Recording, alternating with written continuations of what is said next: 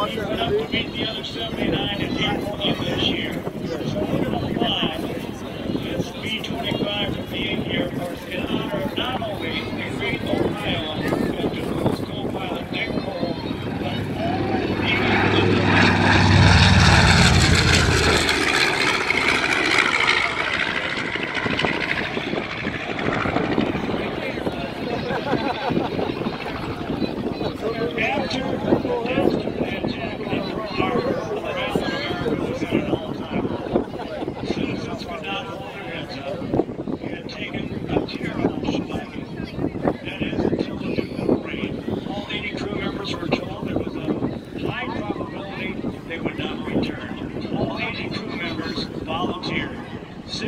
16 B-25s left the deck of the USS Hornet on that historic day, April 18, 1942. Due to being spotted by radio-equipped enemy fishing boat, they launched hundreds of miles farther out to sea than they had planned.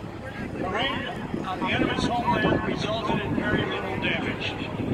However, the emperors, the warlords, and the admirals had assured their citizens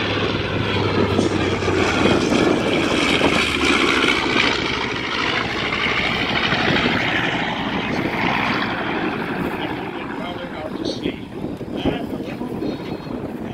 proved devastating to the enemy, a tremendous advantage to our Pacific fleet, and marked the beginning of the end of the war in the Pacific.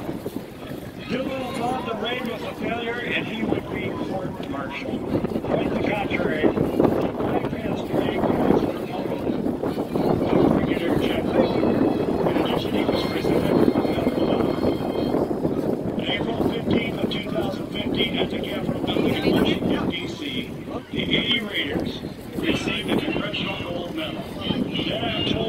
WB25 to be presented by Raider Dick Cole to the National Museum of the Air Force. The day that happened, April 19th.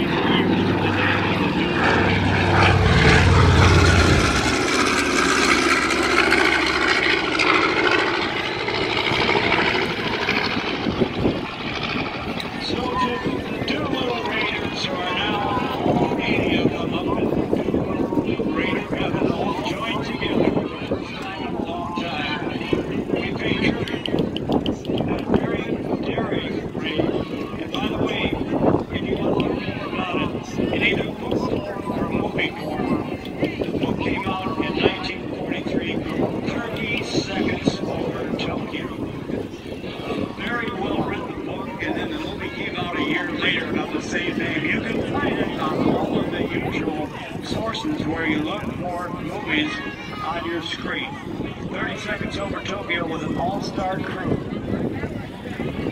Part of Jimmy Doolittle was played by Spencer Tracy, Robert Mitchum, Van Johnson was in the movie, Robert Stack was in the movie, Bomb Bay Doors Open.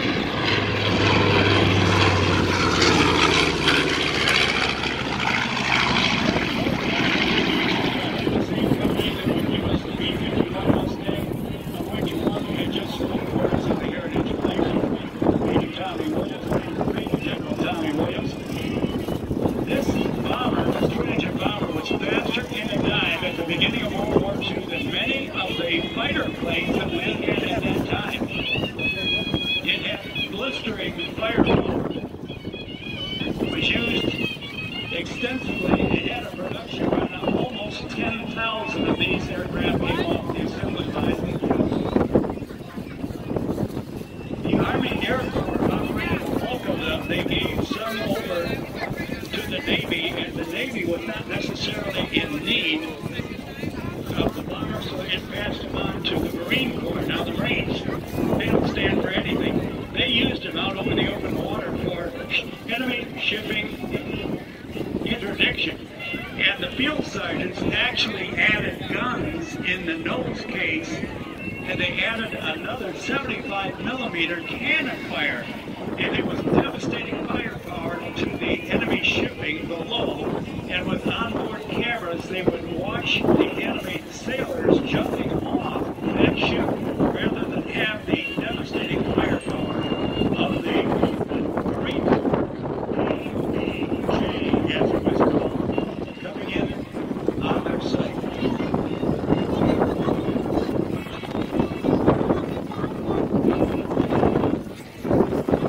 Here, the Wright engines, they have peculiar characteristics to them.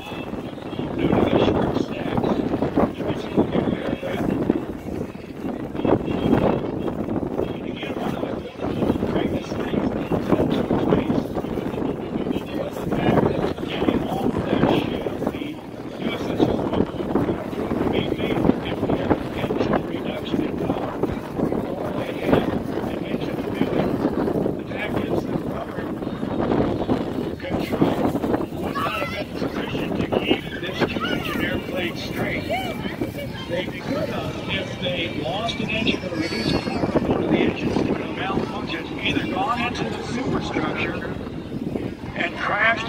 or gone over the side and we'd lost again.